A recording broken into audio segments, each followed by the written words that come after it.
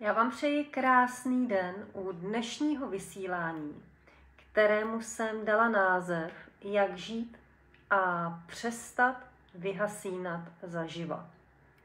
Já počkám, až se všichni připojíte, až mi dáte zpětnou vazbu, že funguje naše technické spojení a vrhneme se na toto téma, které mě napadlo včera odpoledne když jsem pročítala nějaké vaše maily a došlo mi, že spousta lidí na tomto světě, v této pozemské materii, zkrátka vůbec nežije.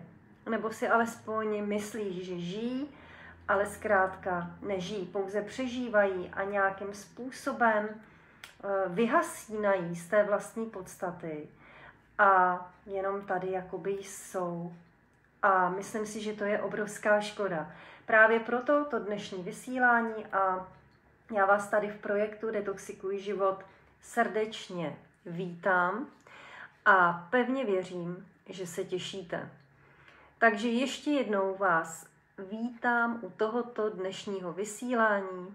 Vidím, že mi dáváte zpětnou vazbu, já vás taky zdravím a jdeme rovnou na to, protože mi přijde zbytečný to zdržovat. Ještě na úvod, než eh, začnu k tomu dnešnímu tématu, vám chci zodpovědět dvě krátké otázky. Ta první se opakuje pořád dokola. Jak je to s knížkou Luna z Luna? Prosím vás, knížka Luna z Luna vychází fyzicky 24. března. Dřív to nejde, protože byla vybrána do celostátní kampaně eh, Velkého knižního čtvrtka od Kosmasu a všech 12 titulů, které tam byly vybrány, vychází 24. března. To znamená, pokud knížku chcete, tak prozatím máte možnost si ji objednat v předprodeji a to jak v jakémkoliv knihkupectví, tak i na mém webu. Já vám sem potom dám link, ale knížky budu odesílat až po tomto datu. Tak jenom, abyste to věděli a já to znova a znova opakuji protože opravdu nemám kapacitu pak odpovídat na 40 mailů denně, jestli už je knížka na cestě. Takže byť bych byla moc ráda, aby knížka na cestě k vám již byla, tak knížka na cestě bude první týden v Dubnu. První týden v Dubnu, to znamená za nějakých 6 týdnů můžete očekávat knížku, pokud si ji koupíte v prvním nákladu v předprodeji. To je první informace na úvod tohoto vysílání a ta druhá informace se váže ke klubu Detoxikuj život.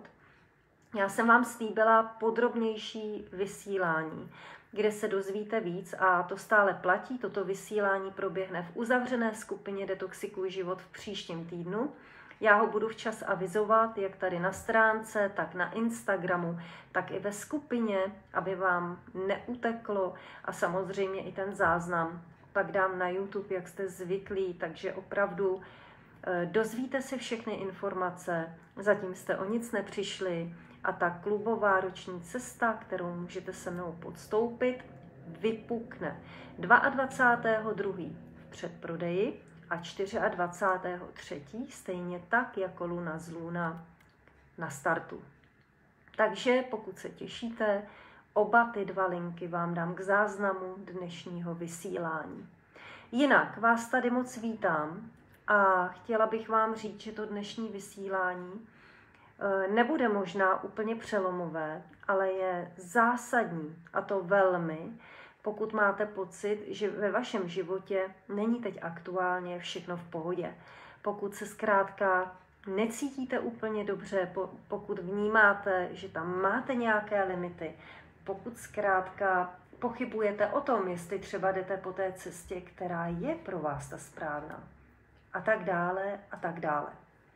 Tak, víte, z pohledu toho dnešního světa, tak jak si ten dnešní svět stojí, uh, mi přijde, že my jsme totálně a absolutně odpojeni od té naší duše.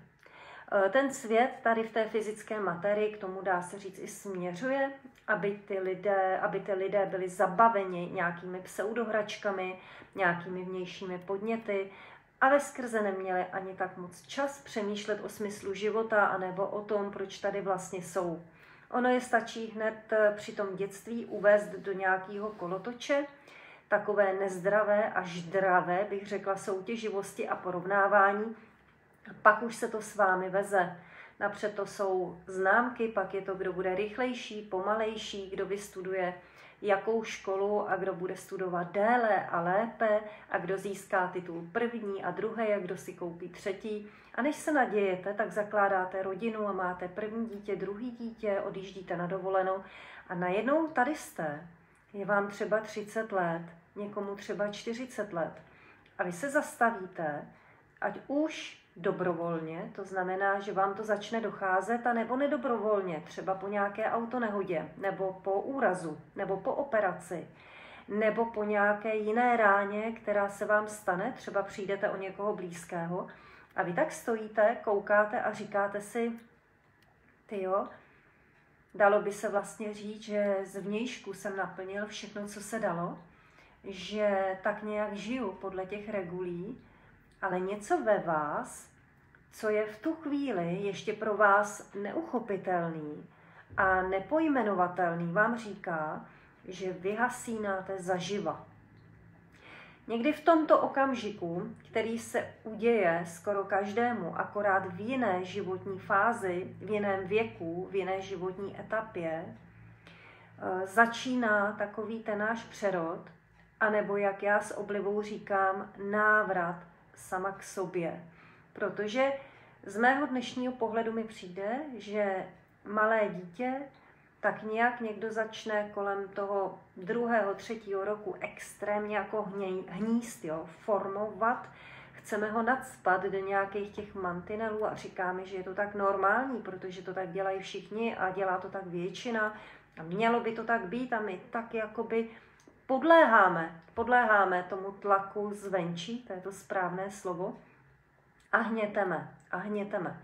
A my všichni jsme takové pak uhnětené bytosti, kdy najednou se něco stane v našem životě, nebo zkrátka jen zvolníme, nebo už nemůžeme dál naplňovat ty požadavky, které jsou na, něm, na nás skladeny pořád a pořád z nějšku, ať už ve vztahu od rodičů, ať už v práci nebo v podnikání, to je jedno.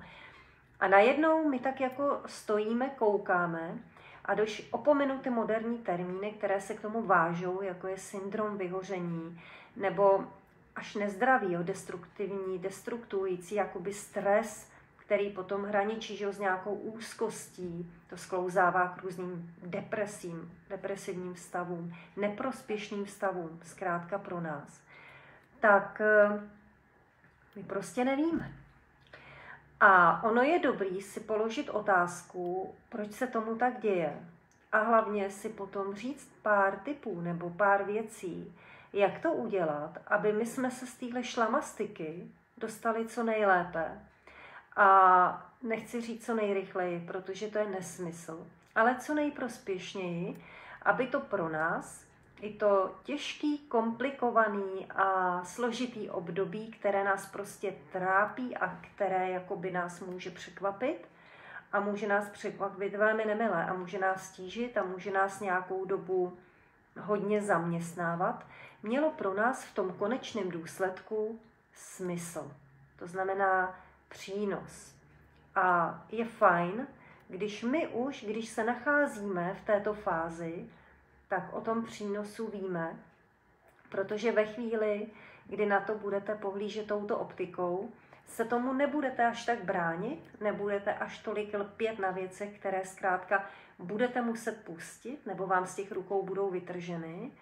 A celá ta transformační mise proběhne jakoby v takovém přirozeném proudu, jo, v takovém plynutí a nebude to nic co by někdo jako vás musel popostrkovat, nutit.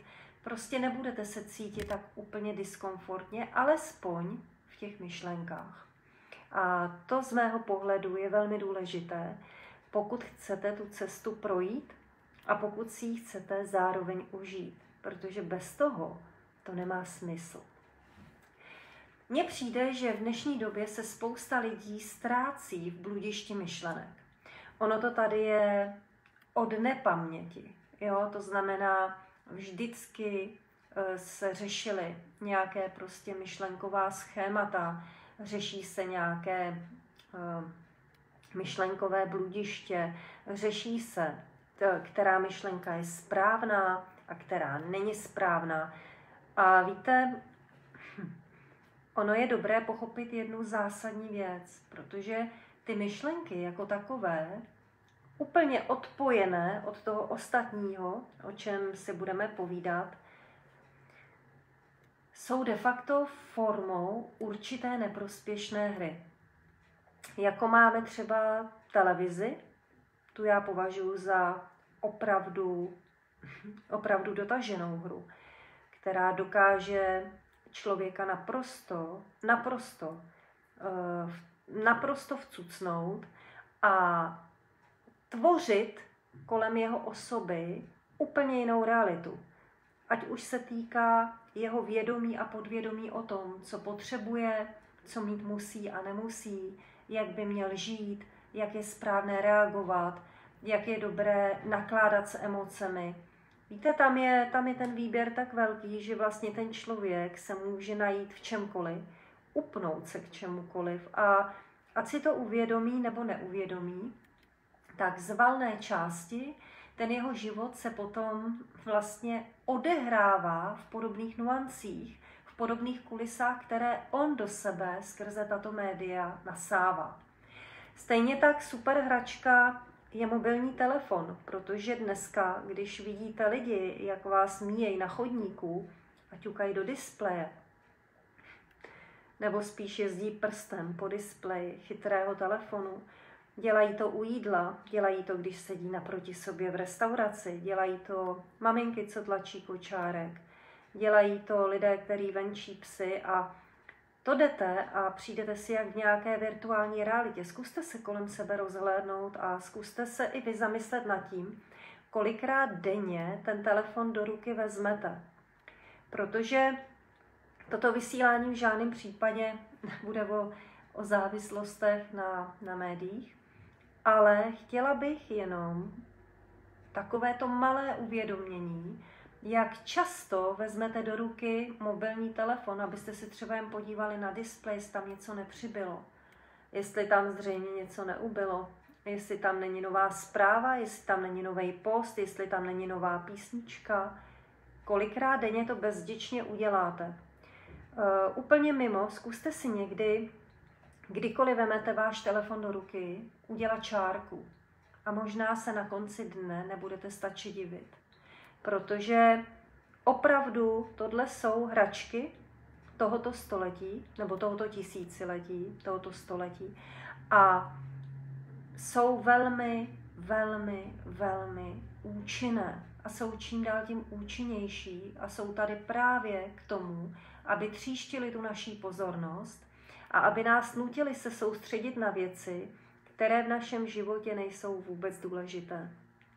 Je to geniální tah, jo? Je to geniální tah, kdy vlastně naše ego má víc a víc prostoru se s námi dohadovat, se s námi hádat a přetahovat se s námi o tu pozornost, kterou dáme buď jemu, anebo ji dáme sami sobě, naší duši která tam někde v koutku je utlačená a jako marně lec kdy žadoní o pozornost. My kolikrát, když děláme tyhle věci, když se zasekneme na nějakém přijímači, nebo když eh, trávíme čas u té televize, nebo když používáme jakoukoliv jinou hračku dnešní doby, to bych mohla vyjmenovat desítky elektrospotřebičů a her a všeho možného, všech těch krámů, které hrozně potřebujeme, ale vlastně vlastně vůbec nepotřebujeme, tak eh, my vnímáme, my někdy let's kdy vnímáme, že opravdu to není fajn. Někdy si to vyčítáme už přitom, když to děláme. Někdy až potom. Někdy jako cítíme, že to je nepatřičný, že to není úplně to, co bychom chtěli. Ale pak nad tím návnem rukou, protože to dělá každý, anebo prostě zkrátka nevíme, co bychom teď zrovna ze sebou dělali, a děláme to dál. A bohužel nám to krade to naše žití, to naše opravdové bytí tady na této planetě a nutí nás to vyhasínat zaživa. Z pohledu duše jde o vyhasínání zaživa. My jsme totálně odpojeni od té svojí podstaty, my nevíme většinou, co opravdu chceme. My víme, co chtějí od nás všichni ostatní. My víme většinou zhruba, co chceme, primárně a v kontextu té matérie. To znamená, co si přejem, protože někdo třeba nám to bude závidět, nebo protože nám to něco usnadní, nebo protože se nám to líbí, nebo protože jsme to viděli u někoho jiného. Ale to nestačí. My opravdu nevíme, co chceme. Co chceme my. Já se s tím velmi často setkávám u lidí na konzultacích a velmi často nevíme, hm, proč to chceme. To je ještě důležitější. A co tím chceme předat tomuto světu. To znamená takovej ten hlavní důvod, ten inspirující důvod, který by nás měl půdit k akci. A právě proto, že to nevíme, že se často děje to, že se jakoby ztratíme někde na té cestě a my opravdu spíš naplňujeme požadavky svého okolí a ještě to dovedeme schovat pod roušku takové té pseudopomoci, tak tápeme. A neuvědomujeme si zásadní věc. A to je, že tady jsou různé úrovně našeho podvědomí, našeho vědomí jsou různé úrovně našeho vědomí. A v každé té úrovni našeho vědomí jsme nějakou dobu. Pak přecházíme do další úrovně vědomí, když naplníme nějaké zkoušky a do další a do další.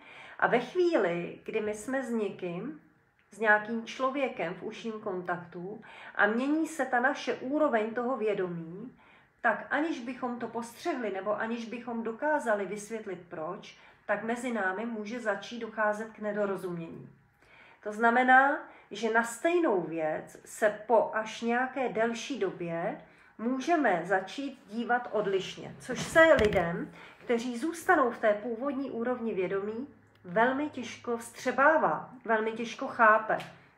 Je to, je to taková věc, kam patří například hodnocení, odsudky, pomoc, například. Eh, v určitý úrovni vědomí je úplně normální hodnotit jiný lidi. A ještě si jako říkat, že je hodnotíme objektivně. To znamená, někoho zhodnotíte. Například, jak mu něco šlo, jak mu šel trénink, že mu šel včera líp, anebo předevčírem hůř. A zkrátka ho zhodnotíte.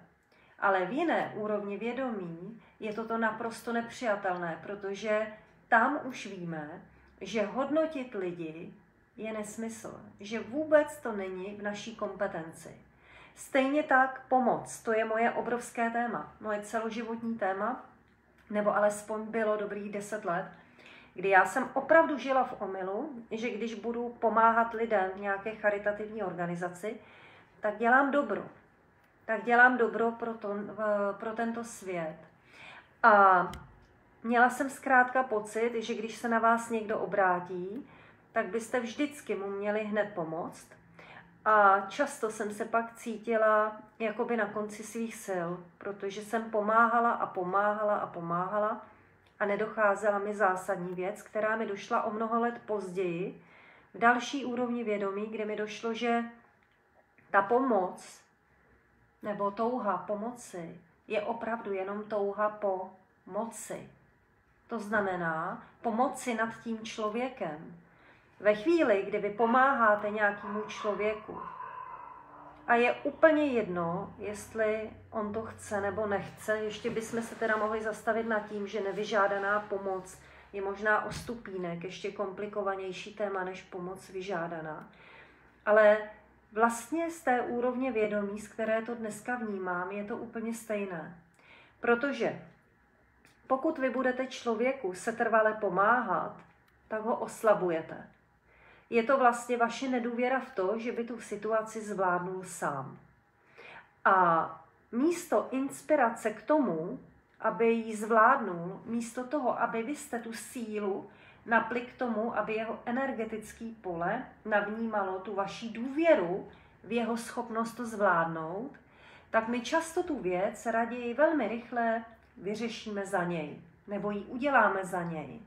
A ten člověk se na to velmi rychle zvykne. Ono je to pohodlný, protože vy jste v té svojí jakoby bublině, nemusíte jakoby překonávat žádné limity, nepotřebujete z té komfortní zóny vůbec vylejzat. Vy, tam, vy si tam tak jako lebedíte, ale přitom se necítíte úplně dobře. A na toho člověka, který vám pomáhá, tak znova vyvíjíte další a další a další tlak, aby vám pomáhal. Možná si vybavíte, že jste třeba někomu pomáhali týden, měsíc nebo rok a pak už jste nemohli, nebo jste byli nemocní, nebo jste někam odjeli. A ten člověk místo, aby jako byl vám vděčný, tak dokázal vám, eh, vám jakoby vyčíst, že už ta pomoc nepřichází. Dokázal se i naštvat, dokázal se urazit, dokázal vás obvinit z toho, že jste sobci, že už mu nepomáháte. To se děje často a děje se to i ve vztahu e, rodič a potomek a děje se to často i v práci nadřízený a podřízený. Hmm. A ono je třeba si připustit, že do určité chvíle to může fungovat, a pak, když se ale zastavíte a už prostě to dělat nechcete, nebo jdete do jiné úrovně vědomí a máte pocit, že opravdu by bylo lepší toho člověka naučit se postavit se k tomu životu, naučit ho zvládnout ten problém, tak jemu se prostě nechce. Je to složitější cesta a vy se budete muset smířit s tím, že na tomhle přerodu tohoto vztahu vás ti lidé nebudou mít jakoby rádi. Budou mít zkrátka pocit, že se začínáte starat víc o sebe a budou mít pocit, že na ně jako kašlete. Víte, a ono je to hrozně úsměvný, je to velmi úsměvný, protože vy na ně víc kašlete, když jim pomáháte. Protože vy, pokud budete neustále někomu pomáhat, tak opravdu ho oslabíte. Ta jeho síla se nebude kultivovat on nebude nucen, pokud mu třeba budete každý den nakupovat, překonávat svoji fobii, překonávat svoji úzkost, anebo jenom pohodlnost. A on nebude muset ten krok udělat, krok směrem k tomu, aby se jeho situace zlepšovala. A to platí u všeho.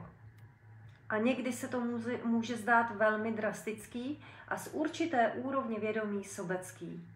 A potom právě vznikají ty, konta- eh, ty konflikty a pak právě vznikají v rodinách takové ty napjaté vztahy, kdy jeden má pocit, že už pomohl dost a teď chce pomoct tak, že tomu člověku ukáže cestu a pak už je to na něm. A ten člověk, kterému bylo pomáháno, má pocit, že ten člověk se změnil, že je sobec a že by s ním snad měl i utnout vztahy. A pak je na vás, jestli se necháte dál vydírat a zdírat, a zaživa pohřbívat, protože nežijete svůj život, ale naplňujete neustále požadavky jiných lidí, a nebo ne, a nebo jestli ho necháte, aby mu došlo třeba za měsíc, nebo za rok, nebo za pět let, že jste pro něj udělali tím, že jste se od toho na nějakou dobu odpoutali nejvíc, co jste mohli. Že jste pro něj udělali to, že on byl nucen najít tu svou vnitřní sílu a se svým stavem něco udělat.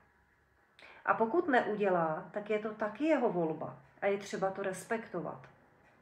Takže to je věc, eh, která se váže k úrovni vědomí a k tomu, proč každý z nás vidí jednu situaci úplně jinak. Jo? Tam jsou různé úhly pohledu. Je to jako kdybyste točili nějakou rubíkovou kostkou a ti lidé mají na jednu věc zkrátka odlišné názory. A z toho vznikají ty konflikty. Ale když budete v úrovni vědomí, kde pochopíte, že je to jenom o přijetí toho člověka a ne o jeho souzení, hodnocení, ovládání, o tom, aby s vámi souhlasil, o tom, aby přijal vaší verzi pravdy a tak dále a tak dále, tak pocítíte neskutečnou svobodu. Uvolní se vám ruce a začne se vám mnohem lépe dýchat. No každopádně cesta do této úrovně vědomí je v tomto materiálním světě eh, komplikovaná a není, nelze jí projít prostě zkrátkou. To je vyloučený. Pokud nemáte za sebou nějakou extrémně traumatickou věc, která by s vámi takhle zatřásla, třeba že někdo skončí ze dne na den na vozíčku nebo přestane vidět a tak dále, tak většinou zdravý člověk tomu musí skrz nějaké karamboly a skrz nějaké zkoušky a skrz nějaké zkušenosti dozrát. A my, když vnímáme pocity, které nejsou prospěšné a prostě připadáme si třeba málo schopní, málo dobří, málo vzdělaní, eh, málo zkušení nebo málo cokoliv, to je jedno, tak vždycky jde pouze o boj, který vedeme sami se sebou.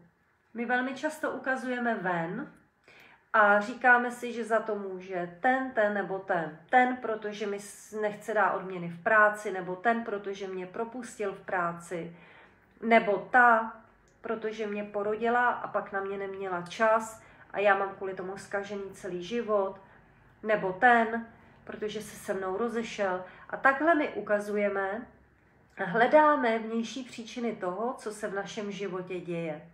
A pak bojujeme s těmi svými pocity méněcenosti, malé sebehodnoty, malého sebevědomí, let kdy ani nechápeme rozdíl, ty nuance toho rozdílu mezi těmito pojmy a cítíme se špatně, cítíme se na draka, máme pocit, že vyhasínáme zaživa. A tady je třeba se na chvilku zastavit a pochopit, proč se nám to děje a jak to můžeme změnit. Protože jediný, kdo to může změnit, je ten, co se na vás ráno dívá ze zrcadla, pokud se do něj podíváte. Nikdo jiný to za vás udělat nemůže a ti lidé, kteří vám říkají, že vás někam dovedou, nebo že znají ten klíč k tomu vašemu zámku, za kterým se skrývají dveře a za těmi dveřmi váš plnohodnotný život, tak nemají pravdu. Protože můžou vás inspirovat, můžou vám ukázat nějaké světlo, které vy následujete, ale ta cesta, po které půjdete, ta bude vaše.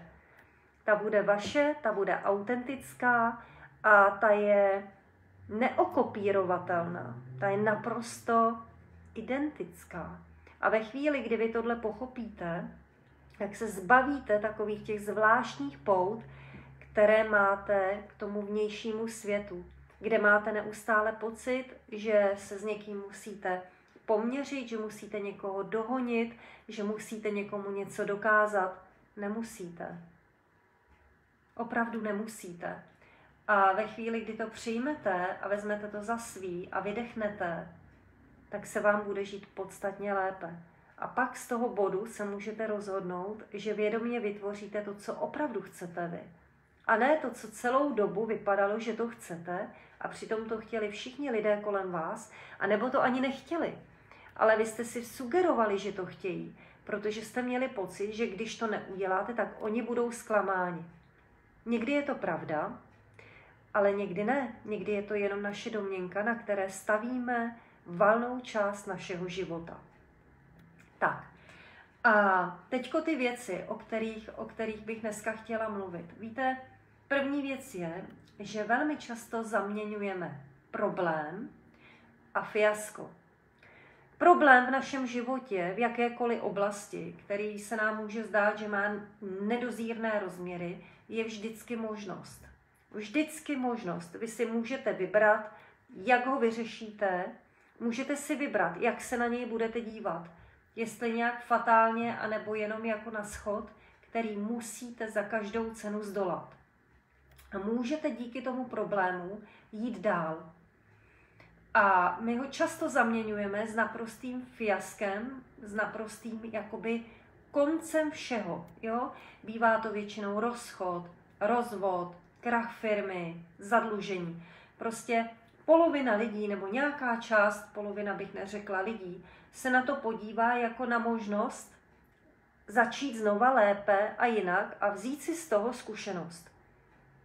A tito lidé pak navážou kolikrát kvalitnější vztahy, vybudují jinou firmu, najdou si lepší práci a tak dále a tak dále. A pak jsou lidé, pro které je to životní fiasko a mají pocit vlastního vnitřního selhání a stojí na místě, opravdu stagnují na místě a za Boha nejsou schopni se posunout dál. Nejde jim to. Pořád se hrabou niterně v tom problému. Pořád ho tam živí, pořád vlastně neustále a pořád dokola vytvářejí ten samý problém, protože o něm denně přemýšlí a protože o něm denně lidem vypráví a protože jim pak ve formě příběhu jiných lidí chodí každý den do života.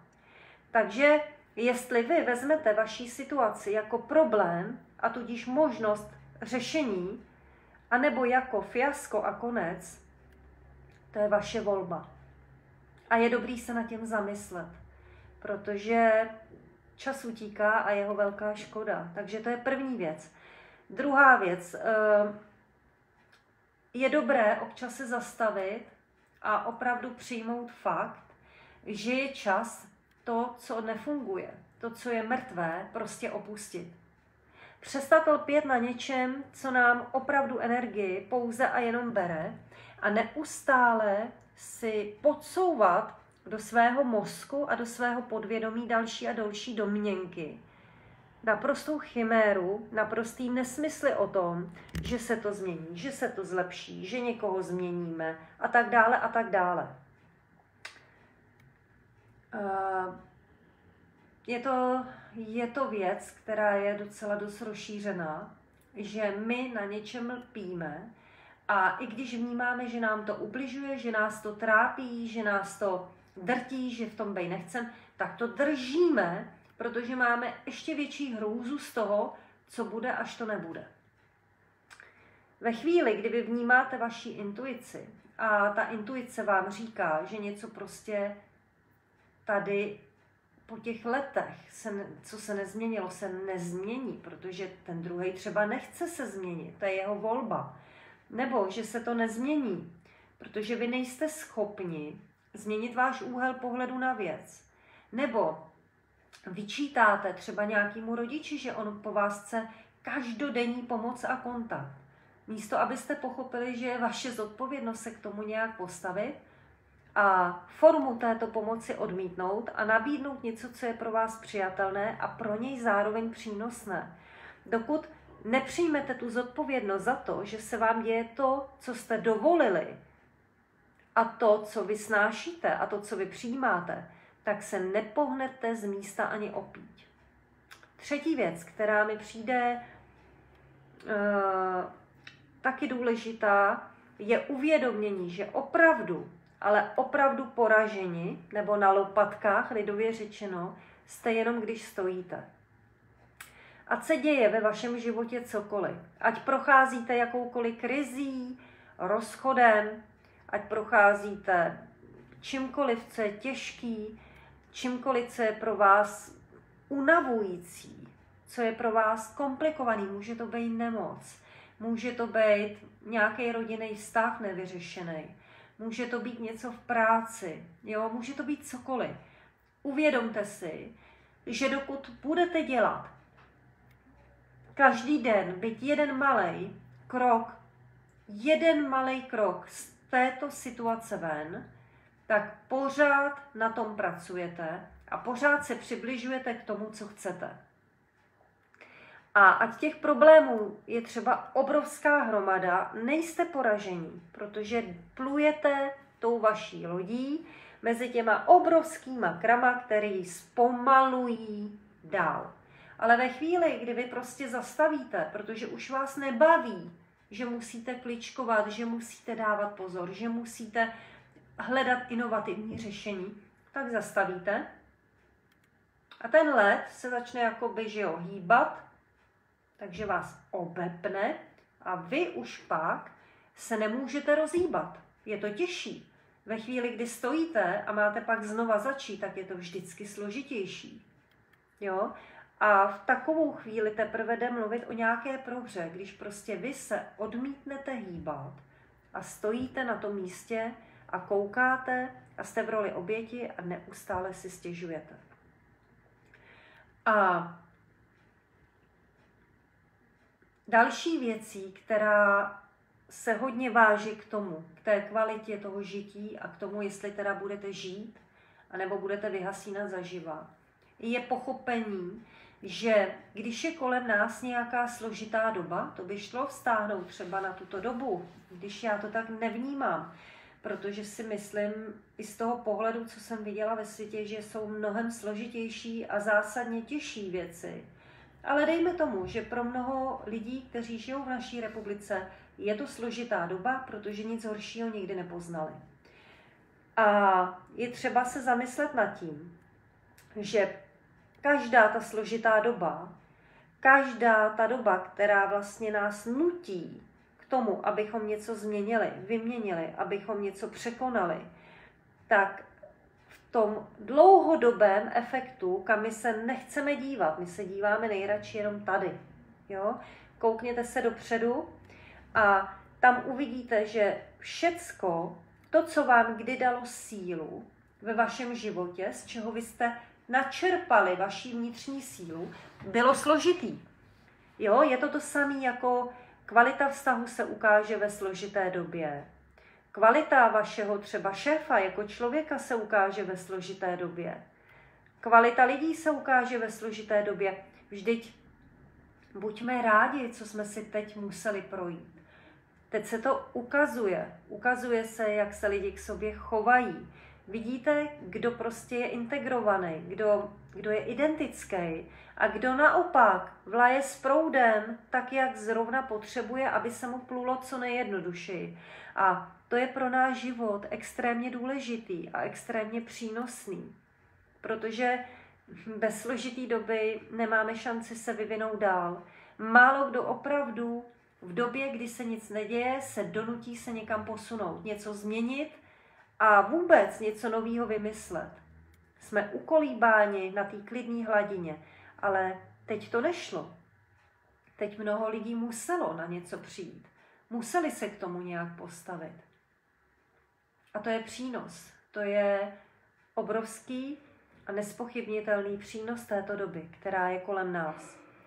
A pak takovou poslední věcí, o který bych dneska chtěla mluvit, je, eh, že pokud chceme v čemkoliv mít dlouhodobý výsledek, tak musíme pochopit zásadní tři věci. Musíme vědět to, co umíme, co umíme dělat dobře. Jo, druhá věc je, měli bychom umět najít inspiraci, díky který to děláme rádi. A třetí věc, která je z mého pohledu velmi důležitá, je uh, úhel pohledu. Protože na každý té cestě, i když budete něco dělat dobře a budete to dělat rádi, tak vyvstanou nějaké potíže a problémy, které proudí z těch vnějších uh, schémat, jo? z toho vnějška. A pokud vy ten váš úhel pohledu pootočíte a budete chápat, že k tomu budete potřebovat k té vaší cestě trpělivost a zároveň i vytrvalost, tak máte vyhráno. Ale pokud při prvním problému se zastavíte a budete pochybovat o tom, jestli jdete správně, tak zřejmě správně nejdete. A to je ta detekce. To je ten okamžik, kdy vy můžete zjistit, jestli náhodou nejste na cizí cestě. Na cizí cestě k tomu, že vyhasínáte vy, vy jako vy, vy jako bytost, vy jako duše zaživa a žijete život někoho jiného. A to je naprosto, naprosto zásadní uvědomění. Takže to bylo dnešní povídání, s kterým jsem chtěla mezi vás přijít, protože vnímám, že v této době je to poměrně důležitý, toto téma otvírat a pochopit, že dokud my se budeme účastnit té hry, kterou nám předkládají zvenku, budeme brát do ruky neustále ty hračky, které nám nabízí vnější svět, místo abychom se složitě a komplikovaně a bez šnorchlu ponořili sami do sebe, tak nemáme šanci jít dál, jít výš, jít do jiný úrovně vědomí a začít chápat ten smysl a potenciál našeho života. Proč tady jsme a co vlastně tady máme předat a dělat.